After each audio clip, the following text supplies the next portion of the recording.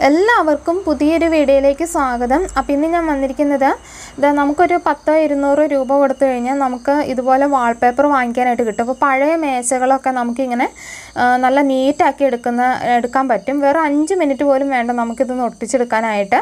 അപ്പോൾ അതെങ്ങനെയാണെന്നുള്ളതാണ് ഇന്നത്തെ വീഡിയോ. അപ്പോൾ നമുക്ക് വേഗം തന്നെ വീഡിയോയിലേക്ക് പോകാം. വീഡിയോയിലേക്ക് പോകുന്നതിന് മുമ്പ് ആദ്യമായിട്ട് ഈ ചാനൽ കാണുന്നവരുണ്ടെങ്കിൽ മറക്കാതെ ചാനലൊന്ന് സബ്സ്ക്രൈബ് ചെയ്യുക. സബ്സ്ക്രൈബ് ചെയ്യുമ്പോൾ അതിനടുത്തൊരു കുഞ്ഞ് ബെലൈക്കൺ കൂടി ഉണ്ട് ആ ബെലൈക്കൺ പ്രസ് ചെയ്യുമ്പം ഓൾ എന്നൊരു ഓപ്ഷൻ ഉണ്ട്. ആ ഒരു ഓപ്ഷൻ കൂടി പ്രസ് ചെയ്താലാണ് എല്ലാ വീഡിയോസിന്റെയും നോട്ടിഫിക്കേഷൻ കിട്ടത്തുള്ളൂ.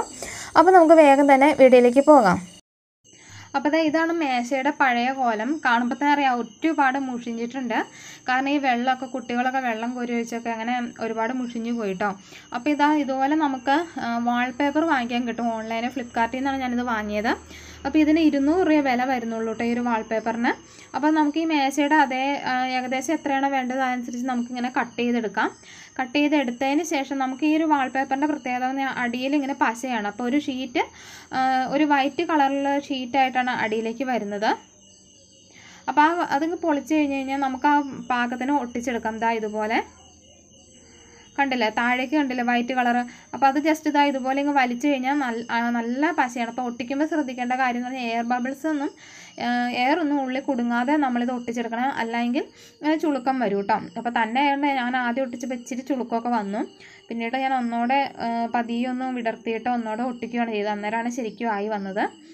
ഒരാളും കൂടെ ഹെൽപ്പിനുണ്ടെങ്കിൽ നന്നായിട്ട് തന്നെ നമുക്കിത് പെട്ടെന്ന് തന്നെ ചെയ്തെടുക്കാം കേട്ടോ അപ്പോൾ ഇതുപോലൊരു മേശ ഷീറ്റ് വാങ്ങിക്കഴിഞ്ഞാൽ നമുക്കൊരു മൂന്ന് മേശ ഇത് ഏകദേശം ഈ ഒരു വലിപ്പത്തിലുള്ള ഒരു മൂന്ന് മേശയോളം നമുക്കിത് കംപ്ലീറ്റ് ചെയ്ത് ഒട്ടിച്ചെടുക്കാനായിട്ട് പറ്റും. നമുക്കിത് വാട്ടർ പ്രൂഫ് ആണ് അതുകൊണ്ട് വെള്ളം ചാടിയാലൊന്നും ഒരു പ്രശ്നവും ഇല്ല. പിന്നെ ശ്രദ്ധിക്കേണ്ട കാര്യം ചുളിവുകളൊന്നും ഇല്ലാതെ ഒട്ടിക്കാമെന്ന് മാത്രമേ ഉള്ളൂ. നല്ല നീറ്റായിട്ട് കിടക്കും കേട്ടോ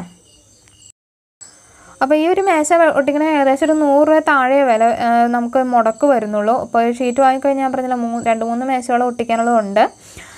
നമ്മൾ ഈ ബുക്കേലൊക്കെ പണ്ട് നെയിം സ്ലിപ്പ് ഒട്ടിക്കുകയില്ല എന്ന് പറഞ്ഞ കണക്ക് തന്നെ സംഭവം.